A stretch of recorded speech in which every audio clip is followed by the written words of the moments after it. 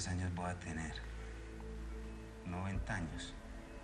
¿Mm? Mejor acabamos con esto de una vez, ¿no, doctor? Señor Domínguez, mientras usted esté bajo nuestra Doctor, responsabilidad... ¿por qué me quiere salvar la vida? ¿No le parece que no vale la pena? ¿Está rechazando la operación? Doctor, no veo que me vaya a servir la operación. Igual me voy a morir. Es más, en este momento ya estoy muerto.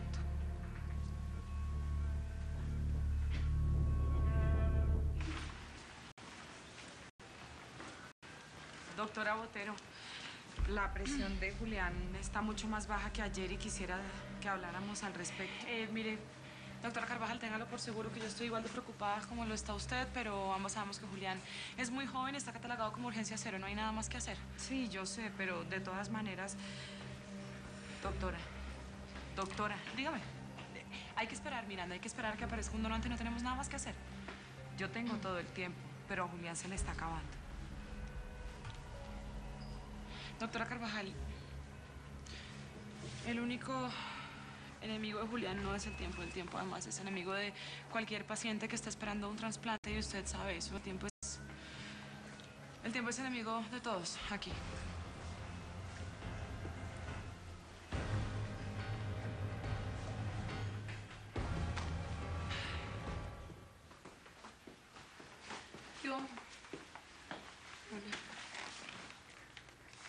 ¿Qué le pasa? Nada. No me diga que no le está pasando nada cuando claramente le está pasando algo. Si no me quiere contar, entonces no me cuente, pues no me diga que no le pasa nada porque es que boba no soy. Tengo la cabeza enredada, Cristina. Ah, ¿Así le pasa peor de lo que siempre o qué? Mm. Finalmente me voy con Juan Felipe de viaje.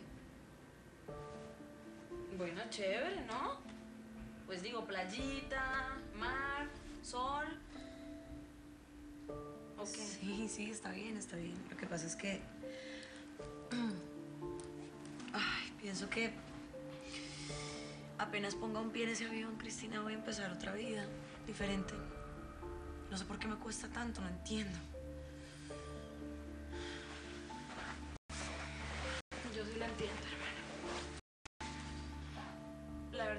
Alejandra, es que usted no quiere dejar a Andrés atrás y obviamente si usted toma la decisión de montarse ese avión, pues es una responsabilidad grande, hermana. Ya no puede mm, sacarle el cuerpo a Juan Felipe, así como lo ha hecho con todo el mundo, ya, ya digamos que le toca tomar una decisión importante. Yo sé, yo sé, yo sé, eso es lo que me tiene así. Pero está bien. María Alejandra se lo merece, hermana. Es hora. Tome una decisión contundente, hermana, para que le ayude a pasar la página con Andrés, María Alejandra. ¿O no le parece? ¿O por qué es? ¿Porque le toca trabajar con él todo el tiempo? ¿Porque le toca estarlo viendo? En ese momento es cuando usted más se debería acordar de todas las cosas malas que le ha hecho ese tipo. Ahí es cuando usted tiene que tener en cuenta todo lo... Usted sabe cómo ha sido Andrés con usted, hermana. Viva, China. Viva, viva, que usted es una dura para eso. No tenga miedo. Venga.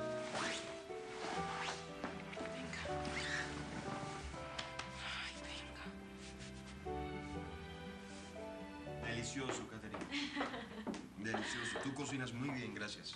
No, gracias a ti por el cumplido. Y bueno, la verdad es que me encanta que te guste porque todo lo hago con un ingrediente especial. ¿Ah, sí? ¿Cuál? Sí. Con mucho amor y el amor hace que todo quede rico. Mm, Necesito hablar algo contigo. ¿Conmigo? Es sobre los niños. ¿Ah, sí? Dime. Estoy pensando que, mm, no sé, los niños tienen, tienen mucho tiempo libre. Deberíamos de meterlo, de meterlos como en actividades más, más interesantes, donde les exploten todos esos talentos que tienen. No que se la pasen jugando, viendo televisión, sino que hagan cosas importantes. ¿Mm? ¿Y qué tienes en la mente? A ver, bueno, pues he pensado que Cata, Cata tiene muy buen oído, entonces, no sé, de pronto funciona para la música. Algún instrumento o que cante. Y para Sebas, pues, ay, había pensado como que lo sacáramos de, de esa cosa de fútbol que me parece tan poco seria, meterlo realmente en una academia donde, donde no sé, le exploten su talento, su- pero es que esa academia es como ahí donde está, es algo poco serio, no es... ¿y tú hablaste esto con ellos?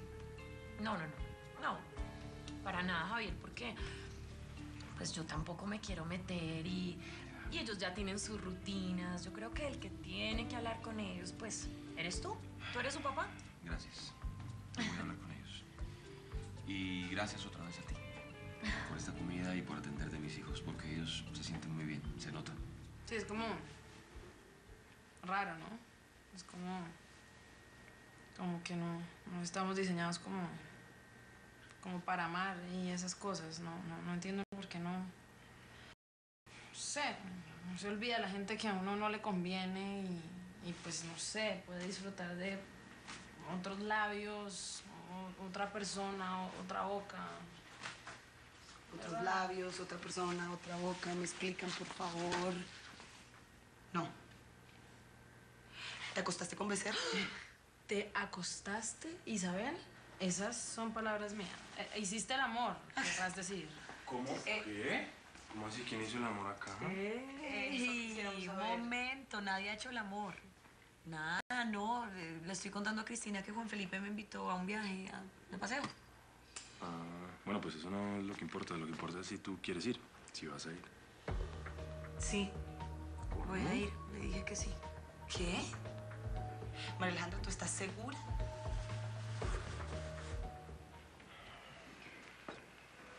Doctor, ¿qué noticias tenemos del donante de Julián? Todavía nada, pero el doctor Gómez está en contacto permanente con ellos. Pero ¿cómo así? ¿Cuánto tiempo nos vamos a demorar? ¿Es tan difícil? A ver, Melita, el tipo de sangre del niño es O positivo, ahí no tenemos ninguna dificultad, pero no nos podemos atener solo al tipo de sangre. Hay otra cantidad de estudios que tenemos que hacer. El niño ha sufrido bastantes transfusiones, entonces eh, hay que mirar eh, la cantidad de anticuerpos que tiene, que son difíciles de encontrar.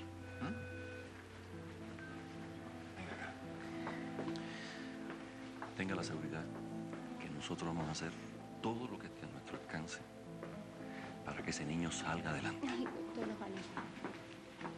Tenga fe.